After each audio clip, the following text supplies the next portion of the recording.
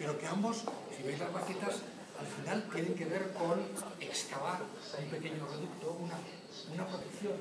Esto lo hizo una, como veis, no era nada más que un, refugio de las regatas que había aquí en, nuestro espacio delante, pero, ya es una arquitectura extraordinariamente innovadora, ¿no?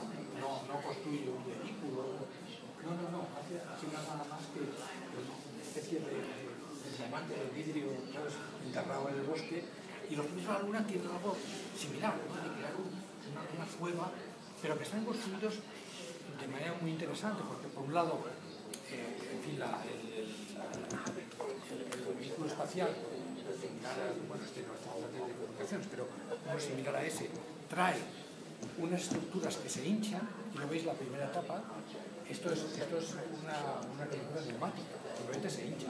Norman ha hecho varios proyectos de arquitecturas hinchables también, ¿no? hace un equilibrio que se hincha y a continuación una serie de robots como estos pequeñitos que veis van acumulando el propio terreno lunar ¿eh? que se aglomera con unos sistemas que evocan la sección, si veis un poco la sección que tienen los huesos los huesos de cuerpos vertebrados ¿no? Están, son muy resistentes pero muy ligeros y esa es la manera en que se van construyendo estos pequeños habitáculos ¿sabes? Que aquí los veis en su primera fase, en segunda y ya finalizado, ¿no?